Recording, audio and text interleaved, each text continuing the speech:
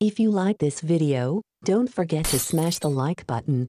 Subscribe and stay informed. Addicted to Macintosh. Hi, I will show you how to limit apps using Bluetooth on iPhone and save battery life. Checking on the apps using Bluetooth is worthwhile to make sure that you don't have a sneaky app connecting to Bluetooth sources without your permission and draining battery. Here is how to find which apps are using Bluetooth.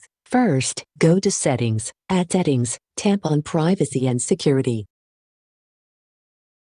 On Privacy and Security, tap on Bluetooth.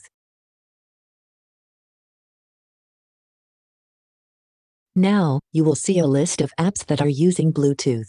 Just toggle off any app that doesn't need a Bluetooth connection to function. If a feature in an app stops working, you can just turn it right back on. Disabling Bluetooth entirely is also an option, but it's used for AirPods, Apple Watches, and other accessories, so turning it off isn't feasible for most people. It's that simple. Hope you enjoy this video. Have a nice day.